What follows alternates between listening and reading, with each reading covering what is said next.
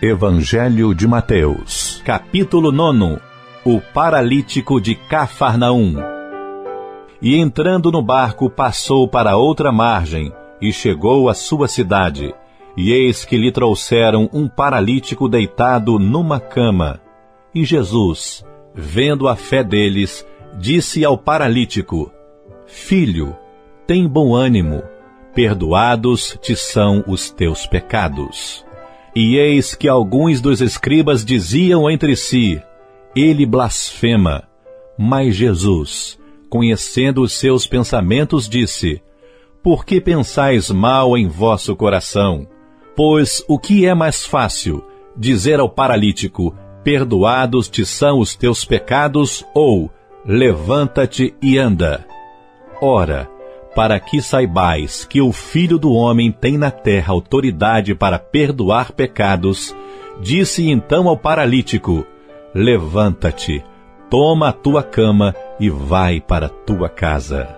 E levantando-se foi para a sua casa, e a multidão, vendo isso, maravilhou-se e glorificou a Deus, que dera tal poder aos homens. A vocação de Mateus, versículo 9. E Jesus, passando adiante dali, viu assentado na alfândega um homem chamado Mateus e disse-lhe: Segue-me. E ele, levantando-se, o seguiu. E aconteceu que, estando ele em casa, sentado à mesa, chegaram muitos publicanos e pecadores e sentaram-se juntamente com Jesus e seus discípulos. E os fariseus, vendo isso, disseram aos seus discípulos: por que come o vosso mestre com os publicanos e pecadores? Jesus, porém, ouvindo, disse-lhes: Não necessitam de médico os sãos, mas sim os doentes. Ide, porém, e aprendei o que significa misericórdia quero, e não sacrifício, porque eu não vim para chamar os justos, mas os pecadores ao arrependimento.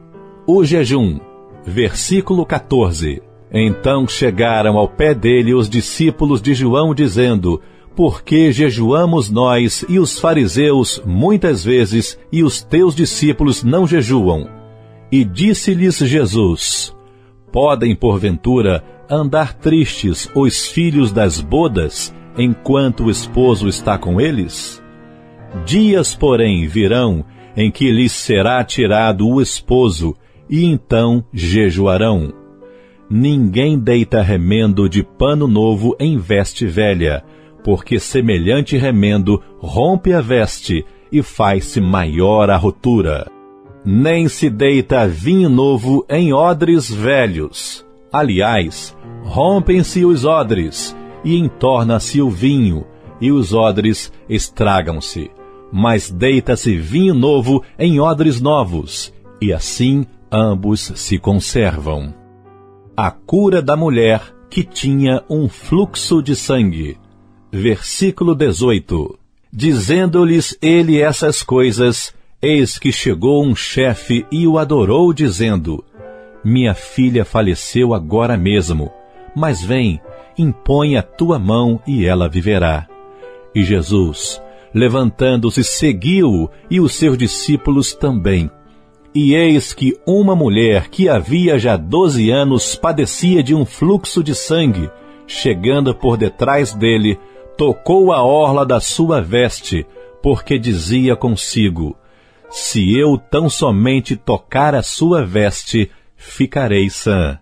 E Jesus, voltando-se e vendo-a, disse: Tem ânimo, filha, a tua fé te salvou e imediatamente a mulher ficou curada.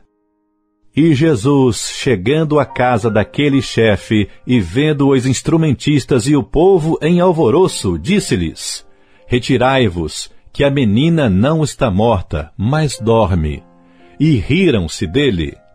E logo que o povo foi posto fora, entrou Jesus, e pegou-lhe na mão, e a menina levantou-se e espalhou-se aquela notícia por todo aquele país.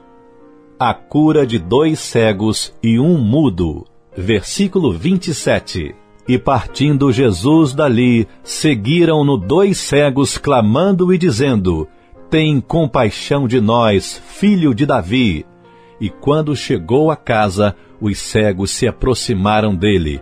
E Jesus disse-lhes: Credes vós que eu possa fazer isto?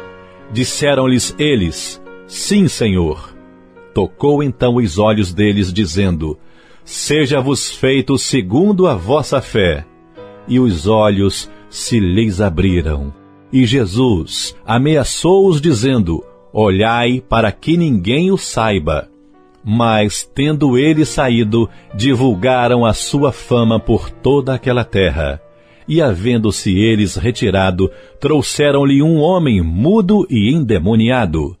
E expulsou o demônio, falou o mudo, e a multidão se maravilhou, dizendo: Nunca tal se viu em Israel.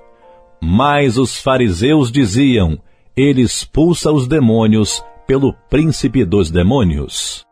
A seara e os ceifeiros.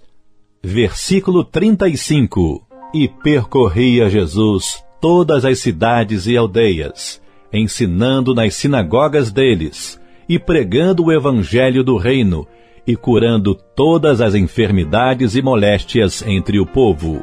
E vendo a multidão, teve grande compaixão deles, porque andavam desgarrados e errantes como ovelhas que não têm pastor.